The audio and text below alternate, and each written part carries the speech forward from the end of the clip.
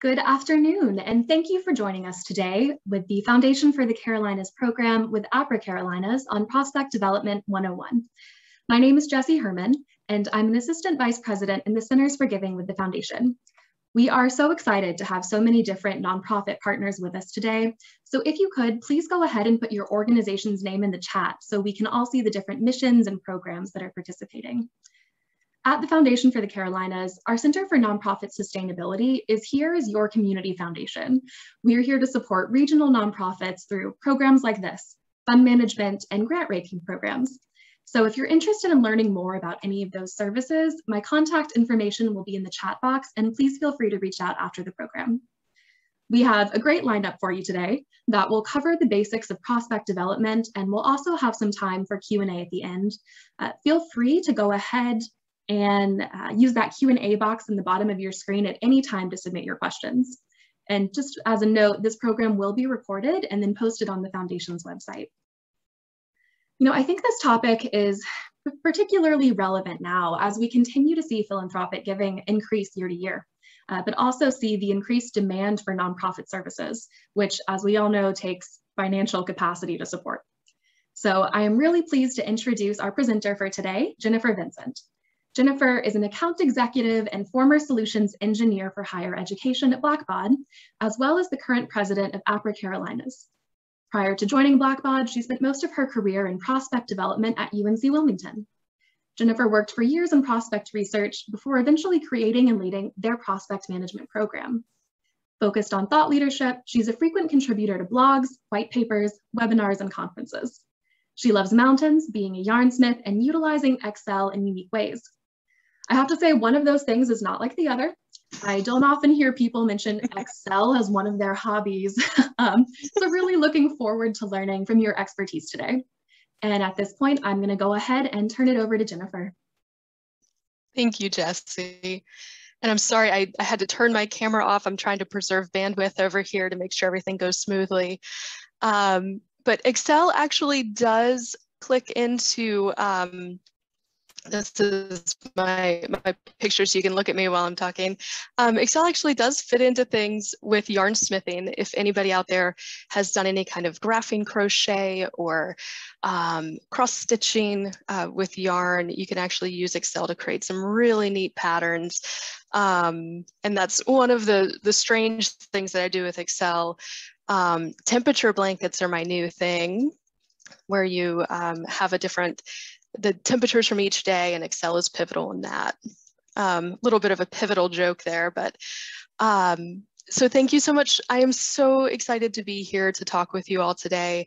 Um, Jessie gave you my intro. Um, I've worked in prospect development at the University of North Carolina, Wilmington for about 12 years, coming in in prospect research and then moving over to prospect management. Um, I've been a member of APRA Carolinas uh, for many, many years, and I've been on the board since I think 2016.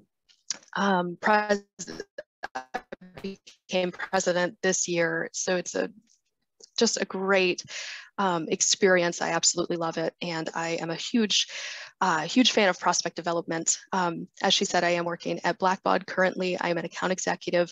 Um, I also worked previously in sort of the fundraising analytics role, so I love to geek out on anything to do with uh, databases and analytics. So I had a quick agenda for us today, just so we all are on the same page on what we're going to be talking about. Uh, we're going to do some overviews of APRA and APRA Carolinas. Um, pretty much each one of these different agenda items I could easily spend an hour talking about. And for some of them, I actually have. So um, if you have questions about any of this stuff, I am always happy to connect with folks and, and talk about it even more. But we want to go through prospect development terminology, where to find prospects, determining capacity, uh, point out some free resources, discuss metrics, and end with some Excel tips and tricks, which is always super fun.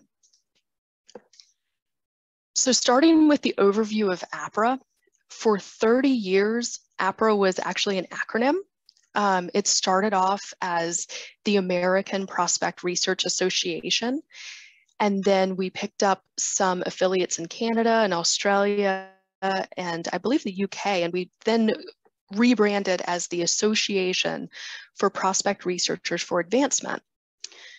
But as the profession grew, the acronym, it began to lose some of its meaning because it's not just prospect research now.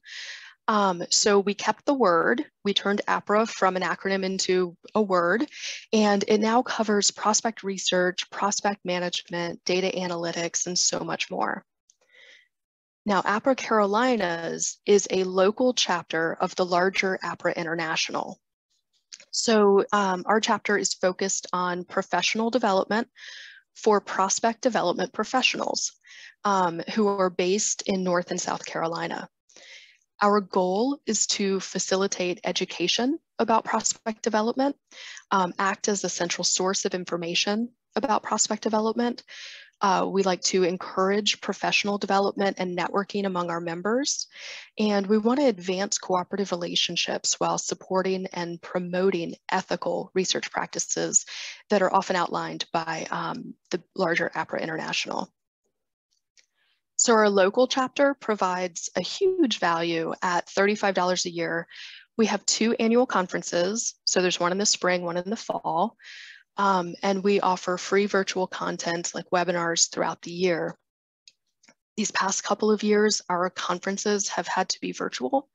Um, with everything, with COVID and everything going down, we've switched to the virtual content.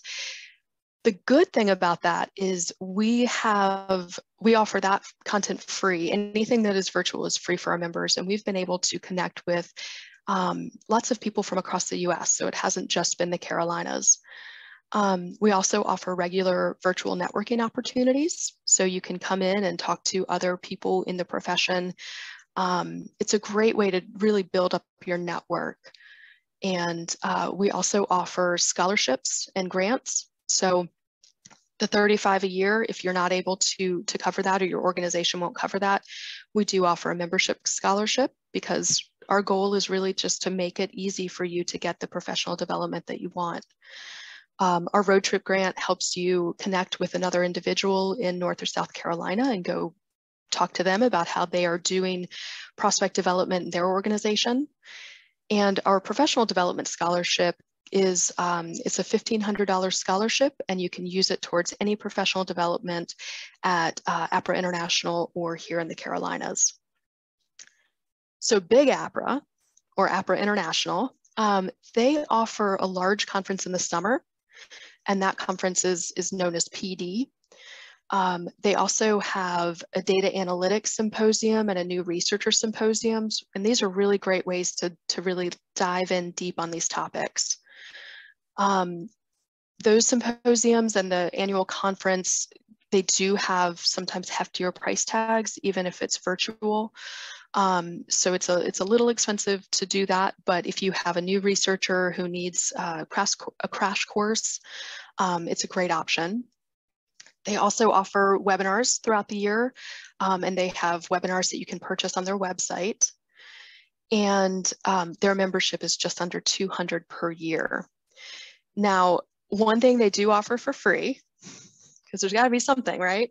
Um, they offer a list serve that's known as Prospect L, or if you have any kind of old school researchers on staff, they call it the L. Um, the L is a great resource for knowledge. Um, so you can go on there and you can search for questions that you have. If you're wondering about prospect management um, or prospect research, you want to think about a new vendor, um, any kind of questions that you might have, you can post them on the L along with job opportunities. You can scroll through and see other professional development opportunities that are being shared among the chapters and other members. It is free. You don't have to be a member of APRA or APRA Carolinas to join the listserv. Um, so if you are doing any kind of prospect research and you are not currently following Prospect L, I definitely recommend it. So what is prospect development? Um, prospect research is, it, it's also known as development research or fundraising research. And it's a technique through which researchers, development teams, and nonprofits gather relevant information about potential donors. So typical topics of interest include um, figuring out donor capacity, philanthropic affinity, and due diligence research to make sure that your donors are not going to land you in any kind of legal or ethical trouble. Prospect management brings focus by setting standards like metrics and portfolio assignment standards. So the primary goal of prospect management is to make sure that development is focusing on the right prospects at the right time at the right amount. Now I fell in love with prospect research, but prospect management quickly became my favorite because it encompasses strategy, um, there's relationship building, and you need to be able to pivot from like a 20,000 foot overview to a microscopic view of portfolio and prospects. So this is usually about the point where I start to tell people visualize looking at a forest and then zoom in on a single tree.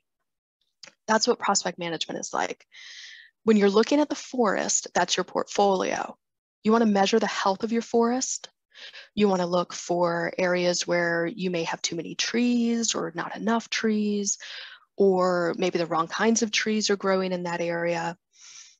Then you want to zoom in and look at a single tree and that's your prospect. Is your tree getting enough water? Are they getting enough light? Does it need to be transplanted to stay healthy? Like, does it need to go to another portfolio? Um, is it ready to move to a larger spot?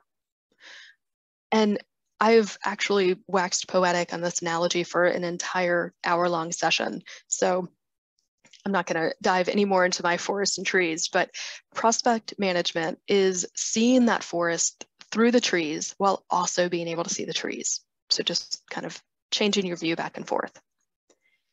And then prospect development is a newer term, and it typically refers to the combination of prospect research and prospect management.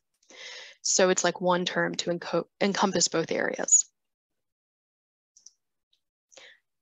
Now looking at some other common terminology, uh, when I'm talking about a prospect, I'm talking about anyone on your radar to make a gift.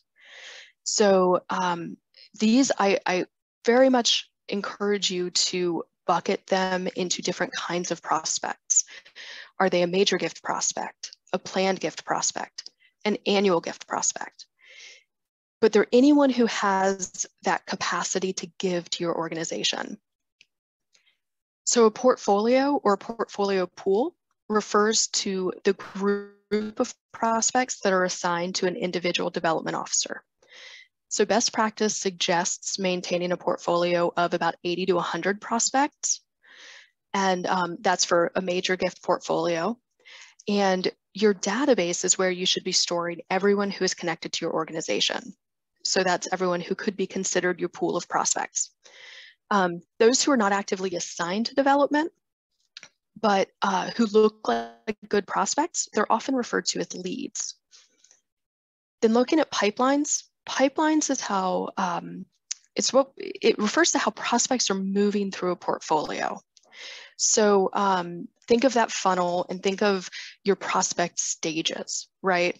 So this comes in with prospect management, which is wanting to make sure that prospects are moving from your discovery uh, or identification through to cultivation, then stewardship, and then uh, or to solicitation, and then finally to your stewardship. Um, when it comes to pipelines, you want to see a fairly even breakdown in stages, right? So you kind of want the same amount of folks in each area of your pipeline because you don't want to see that funnel get clogged. You want to see them move through. Um, so generally, I'll say like 20% in discovery. There's a 40% in cultivation, 20 in early, 20 in late, 20% in stewardship or in solicitation, I'm sorry, and then 20% in stewardship. Um, if you have a prospect who is not going to make another large gift, or really if they are not going to give to you, but their past giving means you want to stay in contact with them, I encourage you all to make sure that you're utilizing a permanent stewardship status for people. Um, it's a way of kind of taking them out of your active pipelines, but also keeping them on the radar so you know you need to check in with them. And then finally, we have data science. And data science is a field that uses scientific methods, processes, algorithms, uh, different systems to extract knowledge and insights from data and then to apply that knowledge um, and actionable insights from that data across a broad range of applications.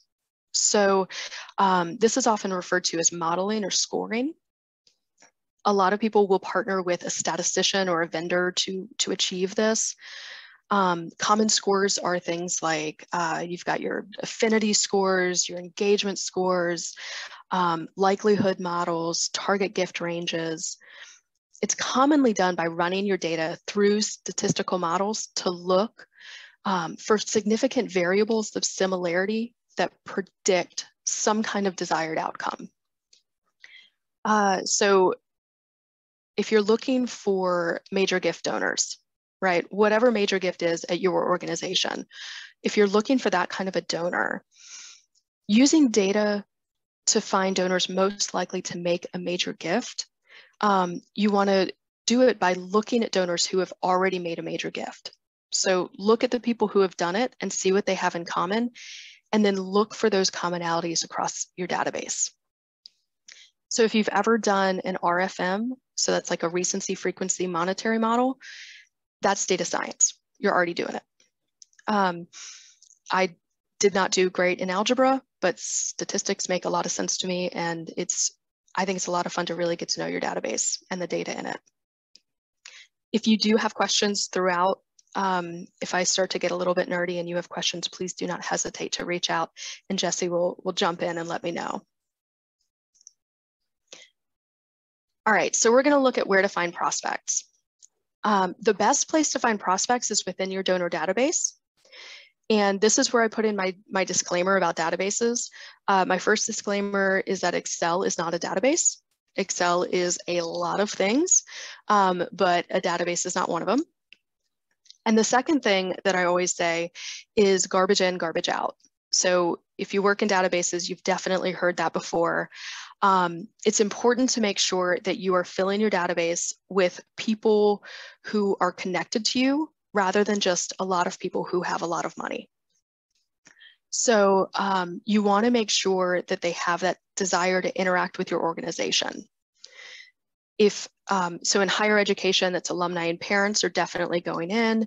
You want uh, patrons to go in, friends, people who are buying tickets, people who are attending events, anyone who's making donations, all of those people are great to add into your donor database.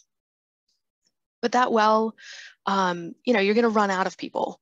Even if you have a large organization, you're always going to be looking for new prospects, right? You want to find people who might be new to the area, people who might be um, getting new jobs, who are doing really well and might be interested in your mission. So um, I've put up some news articles from kind of around Charlotte, the Triad.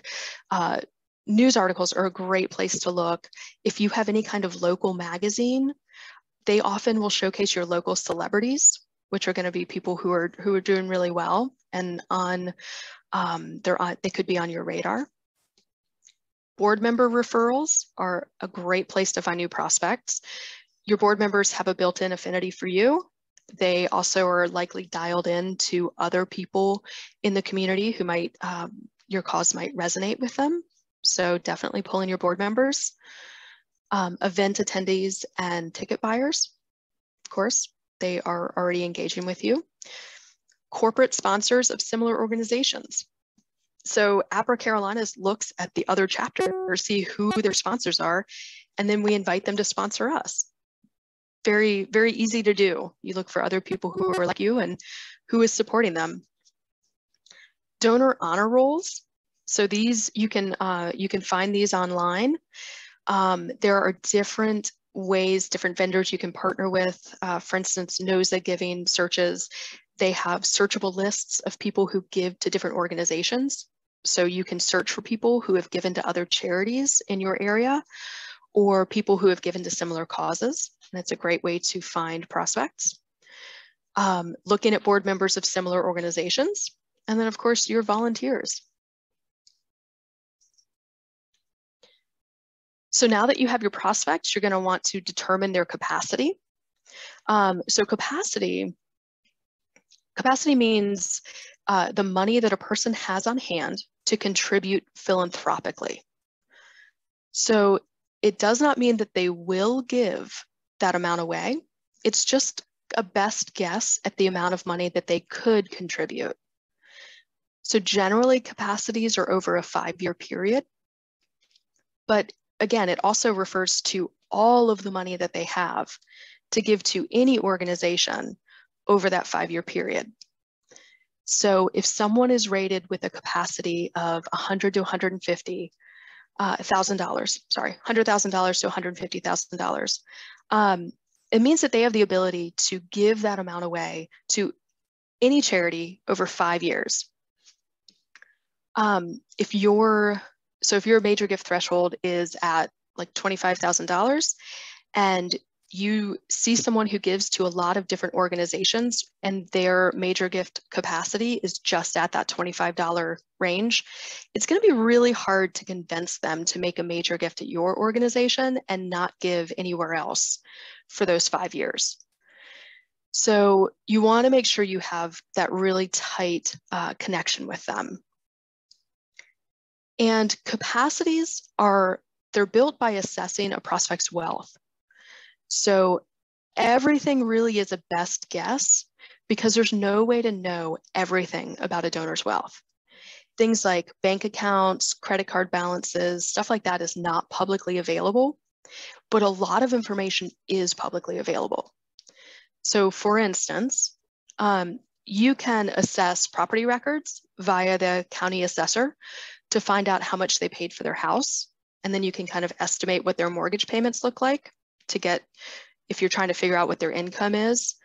Um, you can also look at how much they pay for their taxes annually, which can give you an estimation as well.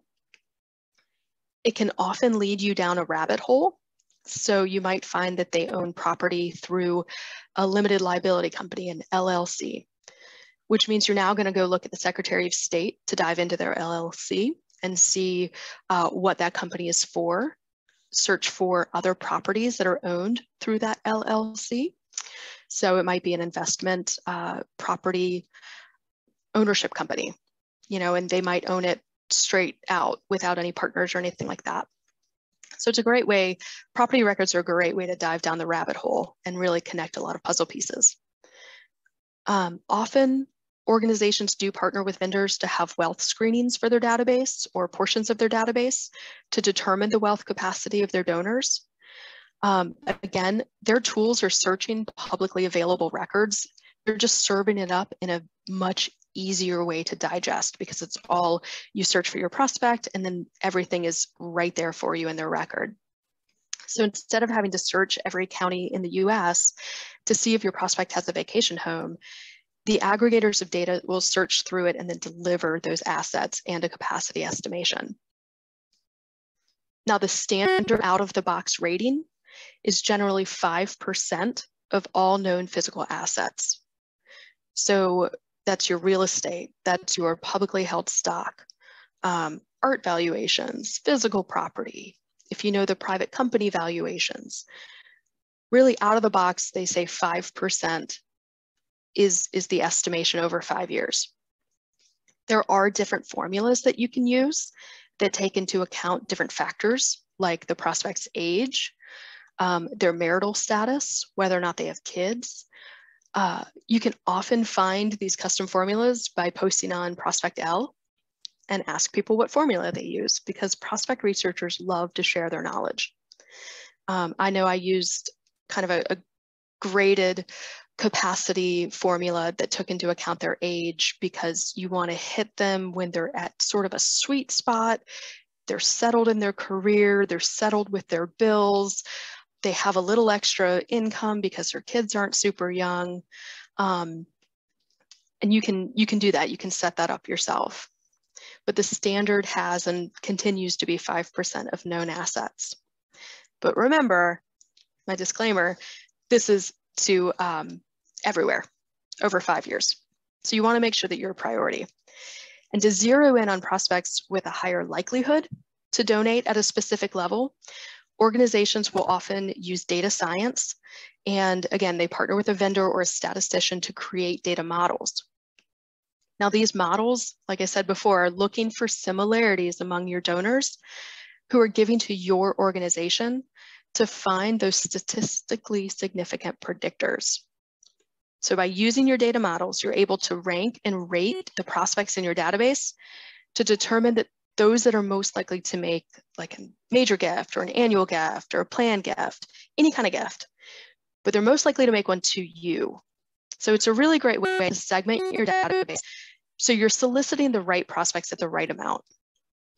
And with custom models, um, the scores and the gift ranges are catered to your organization.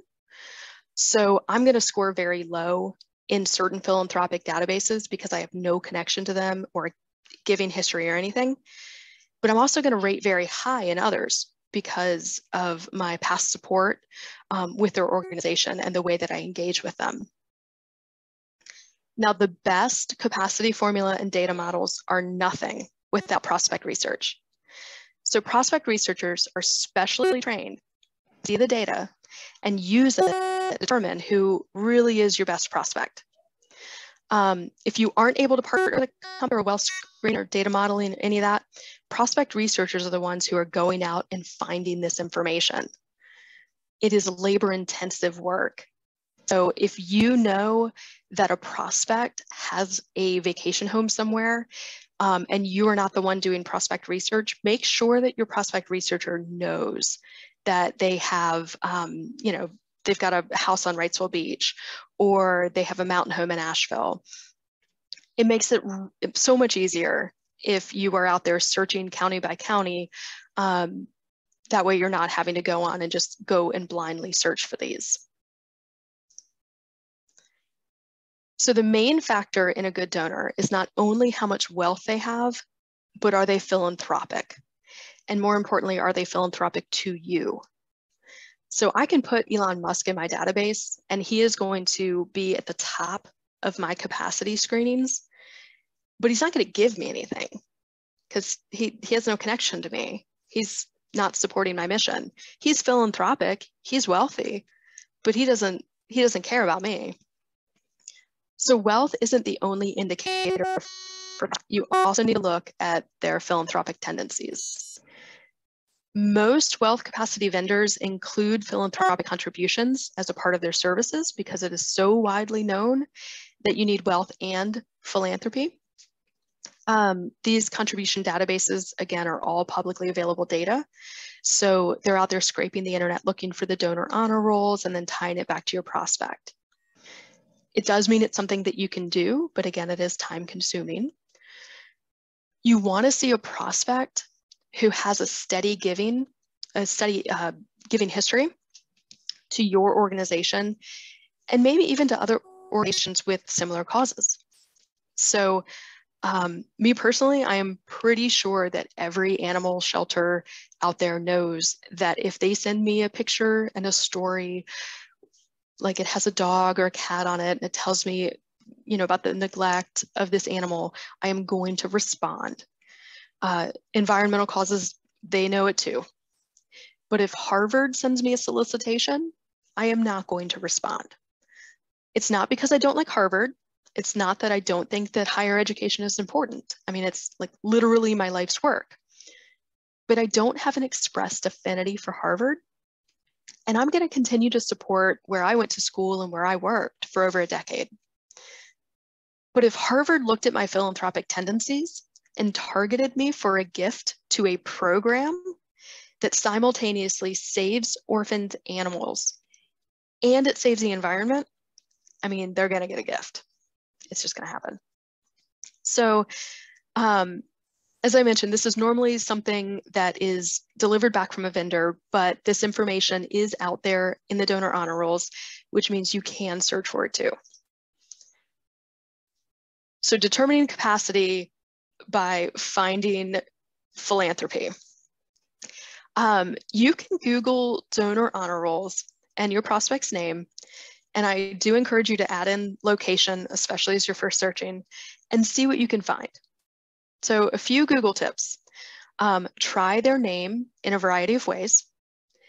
If they're married, try their names together and try them separately. Use their location to figure out um, like charities that are that are near them. So uh, if you know that they live in Charlotte, you know, you want to put Charlotte, North Carolina on there. Um, basically, you want to kind of put everything together and try to figure out how their names generally appear on honor rolls. So are you seeing them appear as Mr. and Mrs. Doe, John and Jane Doe, Dr. Jane Doe, Mr. John Doe, um, whatever it is, they will, if they are large givers to organizations, they often have their names show up the same way across donations. Um, now, the way I have it written on the slide is an example of a way that you can do uh, a more advanced Google search. So it's sort of like saying donor honor roll with John Doe or Jane Doe or John and Jane Doe, etc. Um, it saves you time because you can run one search and then dig through the results and narrow the scope once you find what you're looking for. I actually did create an Excel spreadsheet to do this for me where I would just put in their names and nicknames and it would aggregate it into a Boolean search that I can then put into Google. Um, I don't know that it was the best use of time, but it was really fun to make. Uh, and Google is your friend for finding these honor rolls, but it can feel like an enemy uh, when you're searching for a common name. A um, couple of ways that you can do it. So when you go on Google, you can go over to the little gear on the side and dive into advanced search that way. Or you can Google advanced search techniques for Google and they should help you out. Other free resources. Um, a lot of what we do in prospect research is actually free and widely available on the web. So when you're partnering with a vendor, you're doing so because they are the ones scraping the web for you and offering up the results and it's brilliant and it's a huge, it's a huge time saver but most of the information that they're providing is publicly available if you search hard enough for it. Um, this past February, we actually, APRA Carolinas did a blog post which talked about our uh, board members' favorite free resources because we all have a hidden gem or two in our pockets. Um, like there was one time that I actually searched for people in my area who owned airplanes by using an FAA website for registered planes my thinking there was people who own planes are wealthy. Let's see who lives in the area with an airplane. They're bound to be wealthy. And it was fantastic. I found a lot of private companies and LLCs that I didn't know about. Um, and I found a lot of people who owned planes that, that lived nearby or they lived in other areas, but they had a plane here. I don't know that the ROI was worth it on that project because it was very time consuming, but I certainly enjoyed it a lot. Um, so we have the link to the blog post on there. There are also very large directories available via the Helen Brown Group and Aspire Research Group. These are also really good resources for prospect uh, for prospect development. But their links directories, they have all kinds of stuff, your GIS, um, county real estate, Secretary of State websites, all kinds of stuff that you might need. And that way you're just bookmarking one link instead of, I don't know, hundreds of them. Um, under the individual links, these are just a few. I actually pulled them out of our blog post to present them here. Um, SEC filings, tax assessor, like you can find the different county taxes on that one website. Searching for UNC system or North Carolina state employee salaries, that's a good one for us in this state in North Carolina. Um, the Open Wealth, uh, the Wealth Open Data Dashboard, my buddy Steve Grimes created that. He's up in New York, but it's actually a very useful tool if you're prospecting for wealthy people. Um, and of course, giving in 990s, you can dive into Foundation 990s to get a lot of uh, information about where they are giving grants, where money is going, whether or not your mission fits into that. And there's a lot that you can do um, on these sites. So switching gears from research to metrics is like stepping from uh, prospect research into prospect management. Um, so we're gonna start talking about metrics, uh, my number one advice with metrics is always measure what you want to improve. So the reasoning for this is that when metrics are applied to your job, you are going to focus more on what is being measured than what is not measured. So if you decide that activity, such as the number of activities that are recorded in the database is your top metric, um, get ready because you are going to see a lot of left voicemail activity showing up. And I know this from personal experience. Um, same with meetings. If you measure development performance based on the number of meetings, you will see an increase in meetings. But you might see that they're taking the same person out to lunch twice a month or just checking in with the same people over and over. Um, because, you know, a lot of times development enjoys spending time with certain prospects. And uh, when that happens, um, if you're looking at the metrics for meetings, it checks a box. You know, it puts a meeting on their in their metrics. Um, so instead, you might want to focus on number of unique meetings. So that's the first time they're meeting with a prospect or uh, the number of times that they may have met with particular prospects over the course of the year.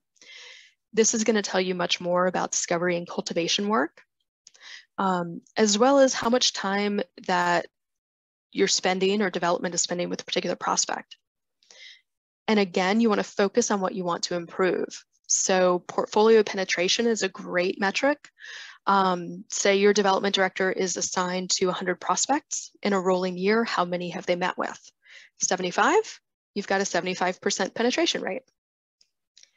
Um, looking at the number and value of solicitations. Now, of course, this is going to bear, it's going to vary uh, based on portfolio sizes and solicitation sizes. Um, for me, when I was setting up the metrics for this, I did a five-year analysis of giving at particular levels in order to figure out what metric is achievable, as well as like have a little bit of, of a stretch on there.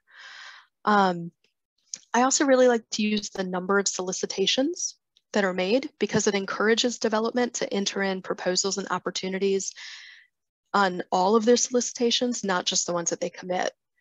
And the importance there is you get to see what a person is saying yes to, but you also get to see what a person is saying no to, which is very valuable, especially when you're going to make the next solicitation. Um, looking at the number and value of commitments, now this is going to vary as well, but you want to focus on the number of commitments coming through the door. And you also want to know what value, have like a goal for your development directors, um, a goal and the value that they should be raising each year. And then one of my favorites to play with are conversion rates because there's so many different ways that you can look at conversion rates. So looking at how many solicitations turn into commitments, can tell you a lot about how a development officer works. Um, it can kind of give you insight into if they're soliciting too fast, are they soliciting the same amount over and over without considering what the prospect could commit to? Um, for instance, say a development director makes uh, 20 solicitations each year and it gets 19 commits. So that's 95% conversion, right? So maybe they're playing it a little too safe because pretty much everyone has said yes to their solicitation. Conversely, if you have a development director who makes 40 solicitations in a year with only 19 commits, that's less than 50%, right? So they might be soliciting too fast. So you want to look at, at those different conversion rates um, because it will give you that insight into their portfolios. So quick example, um, I'm going to refer to uh, the case. The first one is, is on the left and the second one is on the right. And this is just kind of a way to lay out some of the metrics that you can look at. You don't need to look at all of these, but I just wanted to give you an idea on why relying on maybe like average ask amount is not the best metric. Um, so in these tables, mean of course, is your average. And your average is where you add up all of the solicitation amounts and then divide by the number that there are. Um, so the total amount, the 909 divided by the 15 number of solicitations. So the first one um, says that the average ask amount is 60,600. well, that's not really true. It's a bit skewed because you have that one 500,000 ask, but all of the rest of them are much lower. So the 60,000 is giving you an idea that their ask amount is a lot higher um, on average than it actually is. The median metric on here, so for a median, what they do, what Excel does is it lines up all of the solicitations in a row from like least to most, and it takes the value in the middle. So that's your median metric. So what this can tell you is kind of where somebody falls if you know what their top ask is and their bottom ask is, if the median is really close to the bottom, you know that you're seeing more of those low dollar solicitations. And then that mode metric, that's your most. That's the one that they ask for more than any of the others. Um, often it's your baseline for major gifts, but you do want to see a variation in those ask amounts. And you can look for that by using these figures. So the second um, graphic, Excel clip or whatever, um, it shows that same high median or that same high average, your mean, but your median is it's a better value because it's a bit above that baseline. Um, but then looking at the conversion rates, their conversion numbers are the same. So that conversion number is how many solicitations have turned into commitments. And it's at a 67%, which is fine. Um, but your conversion dollars, now the one on the right, uh, the that one has the 99% conversion dollars. That's really nice. That means that Jane Doe has really taken the time to figure out what her prospects can do uh, what they're likely to do, and she's soliciting at a really good value for her prospects. Um, however, the one on the left, the conversion dollar of 103%, that one has me a little nervous because what that means is that Jane Doe's prospects are actually committing to more than she's asking for, which tells me she's leaving money on the table. So looking at um, looking at the same data, but just kind of breaking it down different ways can really give you the insight into uh, the health of your solicitations and the performance of your development staff. So as I said before with metrics, um, research has shown that you can only maintain about 100 relationships in your life. And these are your colleagues, your family, your friends, and also your prospects. So keeping major gift portfolios down to 80 to 100 is really your sweet spot to focus development staff. And then looking down at your prospect statuses, I kind of broke down um, what I like to see, which is sort of my, I call it my rule of 20s because I like to break cultivation into an early and a late so I can really see where they're moving through the pipeline. Um, but you just want to see that even flow through the pipeline for your prospect status. And then speaking of uh, prospect statuses, I wanted to share with you all, um, this was a document that I created for my development team just to really outline each of the stages, um, the amount of time that you can spend in each stage, and then the key questions that need to be answered before you move forward the idea here is that um, when a prospect is in discovery, development has about three months to move them to either qualify them and move them into cultivation or disqualify them and remove assignment. Your key questions um, under discovery, you need to be able to answer yes to all of them. And then you can move down to the next stage. The circuit breaker column, um, that is it's, it's kind of like a flip that you could switch that will either keep the prospect in the current status or send them back a status. So it just means that there's something that needs to be addressed. And if it's not addressed, you can't move forward. So for instance, cultivation late, if you don't have a proposal strategy, um, or if you have a proposal strategy that can't be implemented in the uh, time frame, you can't move into solicitation.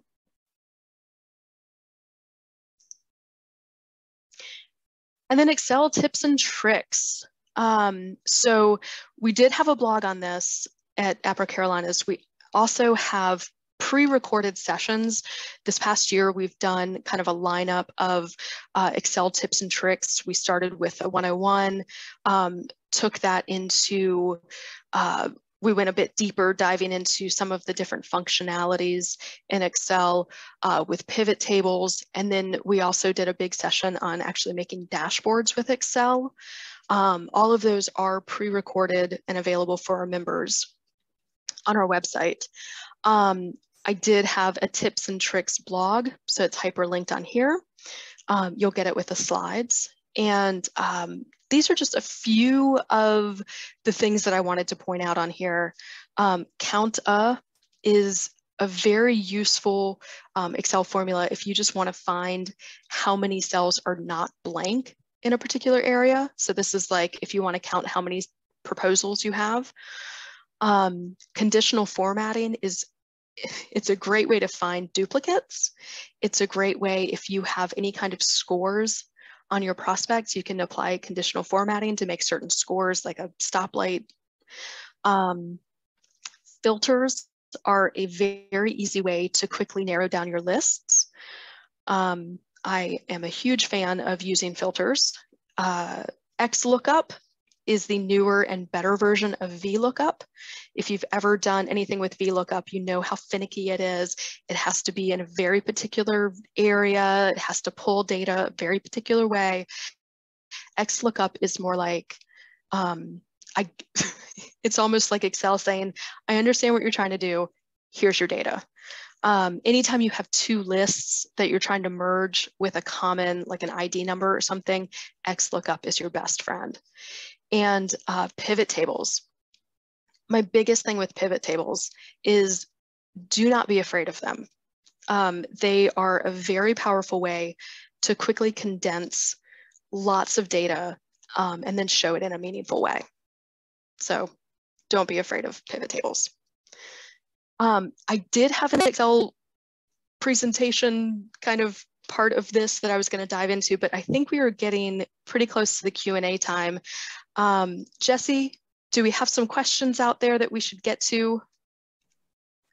We do. We've got a couple questions that have already been submitted if we want to go ahead and move to that section or if you want to close out first.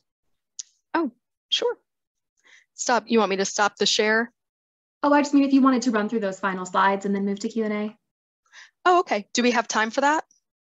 Sure, yeah, let's give it about two, three more minutes and then we'll open up for questions. Okay, can do.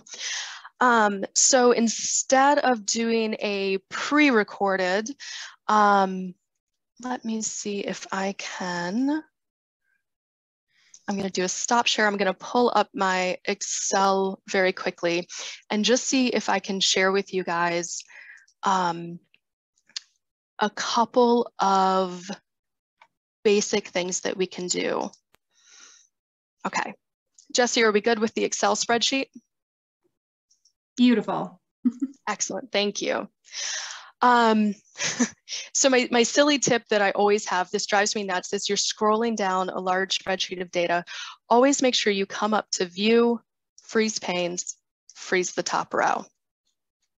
That way it falls with you wherever you're going. The filters, if you come over here to the far left corner and you put a click right there, if you go to data, filter, you can now filter by each of these columns by whatever is in the column. So if you wanna look at your first gift fund, pull your filter down, you can uncheck select all and pick a particular fund and say, okay, and now you see your list has gone from 1,624 to 254 records. So it's a very easy way to narrow down to see just the gifts in that fund. You can also do really cool things on your date field, where if you pull down the date, you can see you can check off different years, you can check off months within years, or you can go to like date filters and say date filter after and just put in a particular date. So you want to find everyone who's after October 1st of this year. Okay, you find the one fund. When you're done with your filters, you can either clear them or you can just click the filter again and it'll turn everything off. You can also go back over here to the corner, click that, insert pivot table. It's going to give you your table range. This is the where your data is. So this is just the sheet of data. And you want to put it on a new worksheet and say, okay. So now you have your pivot table here on the side. You've got your four different areas down here to work with. Um, these up here, these are all of your different columns. So it's all of the data from that spreadsheet. Let's grab the latest gift fund and pull it into rows. So now we can see these are all of the different funds attached to the latest gift. You can come over here and say latest gift amount, pull it into values, and now we have the sum of the latest gift. But we don't know if it's one gift in the Alumni Building Fund, 10 gifts. We know that it's a million, but we don't know how many it was. So you can grab your latest gift amount, pull it back down here, you see your data is duplicated. You need to come back to where the value is, the value field settings, and say count. And now you can see how many gifts were made to make the sum of the gifts. Um, you can also change this. I'm gonna right click, format cells, and select currency. And because I don't like decimal places when I'm looking at big data, I took the decimal places away and say, okay. And now you can see all of your data on here, how many gifts made up the amount, but we're not quite done. Jessie said I had another minute. Um, let me throw assigned to up here in the filters. So now we see all of the latest gifts, the amount that each fund had, the amount of gifts that went into them. Let's see how many of them are assigned to Hampton. And now we have a list here. Let's see how many are, I'm gonna go back up. I'm gonna select all solicitors. So it takes you back to, to everything. You can see all of your different funds again. Let's see the blank ones.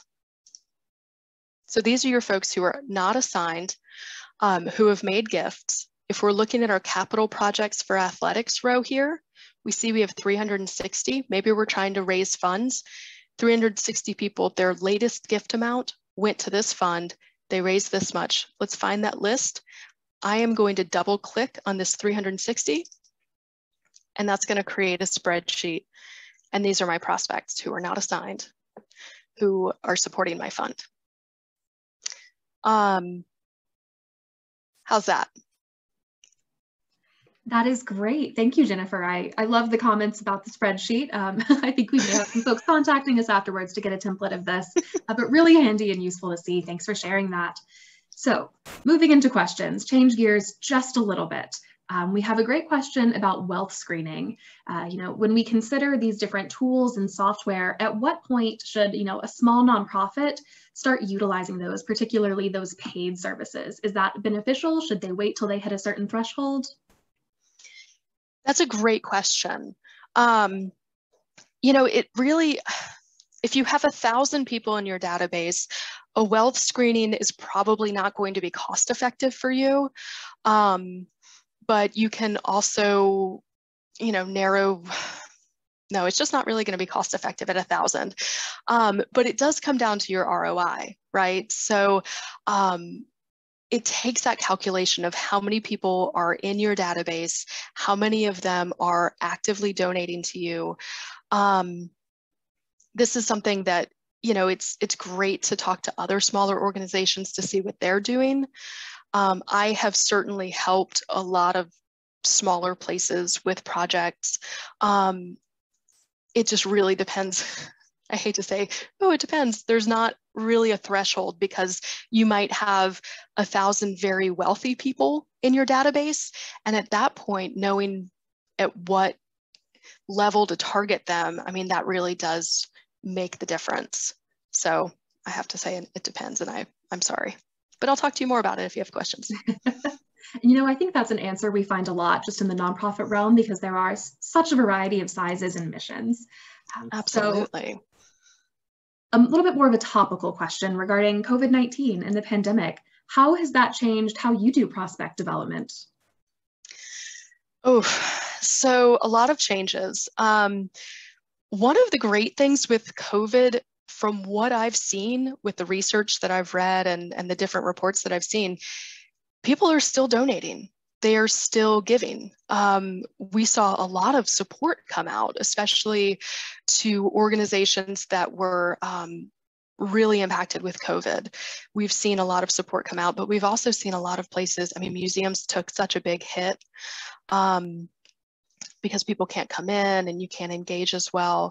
So it's it is a big change in how um, in how people are giving, but wealth didn't get hit as hard as as most people expected there of course have been a lot of job changes so tracking where uh, where your people have gone where your big prospects have gone um, in higher education that means alumni are getting better jobs faster because there's remote positions that were not available before um, and the wealth is still there i think the uncertainty has has you know tap tap down a bit. People aren't as uncertain now. They feel more comfortable, uh, especially with the ability to transition jobs. So we are seeing an uptick in giving. Um, prospect management wise, you have to pivot right? And you have to count things as meetings that didn't previously count as meetings. Phone calls can be solicitations now. Um, stuff doesn't have to be done in person. You can count virtual meetings as actual meetings. Um, so there's there's a lot of changes there. Certainly.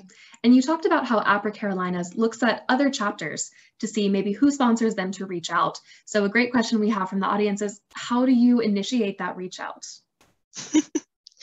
I so I am always very open. I don't I don't have a very good poker face. I'm very much like, hi, my name is Jennifer Vincent. I'm the president of APRA Carolinas. I see you are a sponsor at APRA Maryland, and I'm wondering if you are interested in getting involved with our organization.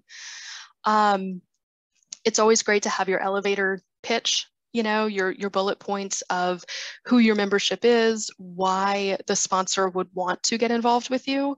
So, you know, you always want to make it seem advantageous for them to join. And it's, you know, APRA chapters, everybody's doing a fantastic job, uh, especially during the pandemic. So it's pretty easy to say, you know, I've seen some of their great programming. We invite you to check out ours. Um, yeah, so I hope that answers your question. Great. And now that we've got uh, just you know a minute or two left, I'm going to leave you with our biggest question. Um, so ah. how how do you approach DEI data when we think about diversity, equity, and inclusion? Are those things you're factoring into prospect research, and and how do you do that? Oh, so we're going to need more than a couple of minutes for that one. that is an excellent topic, and it's something that is definitely top of mind. Um, it's tough, right? So, especially if you're partnering with companies, you want to make sure that it is something that they are paying attention to um, with with the company itself, that they are being inclusive and and looking at the data from different perspectives. Um, with regard to your organization, I mean, a lot of this comes down to leadership support.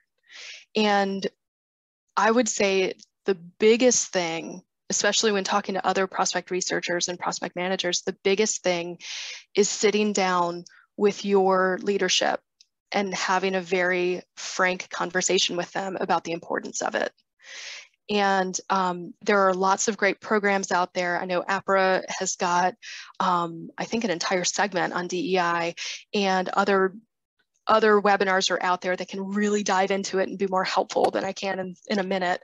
Um, but the biggest takeaway is to make sure that you and leadership are on the same page and that it becomes a focus for your area. Sure. And I lied, I actually have one more question. Uh, so our last question from the audience, you talked a little bit about balancing, uh, from a development director's perspective, balancing your relationship with your prospect, whether you treat it entirely professionally or you kind of cross that boundary to establish those personal relationships. In your experience, you know, what have organizations done and what, what do you recommend? So I don't think that there's anything wrong with connecting personally with your prospects. I think um, it's a really great way to establish that connection.